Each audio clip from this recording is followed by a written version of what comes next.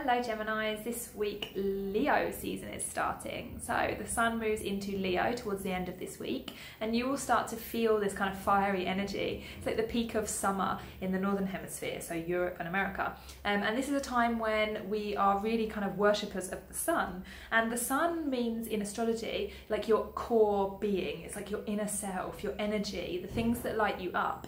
Um, and this is going to really help you to um, be more confident in yourself, uh, to assert yourself a little bit more. So if you have been a little bit of a wallflower recently, you will find um, your voice. You will find that kind of um, yeah assertiveness and confidence that you need in order to say to somebody um, you know what it is that you want or your opinion on something. You might find yourself being a little bit louder than usual or perhaps a little bit more creative than usual. Um, and this can be very good for you at this time after cancer season which was kind of very emotional. So yeah we're getting very confident and creative this week so here we have your cards for the week are the Four of Pentacles and the Nine of Swords. So um, try not to worry about something too much, um, in particular something work related or money related. Um, if you have got a lot of fears or um, lots of kind of like ruminating thoughts where you're going round and round in your head, and um, this is not helping your situation. So you really need to kind of put them to bed and focus on what you can do. Try and find the solutions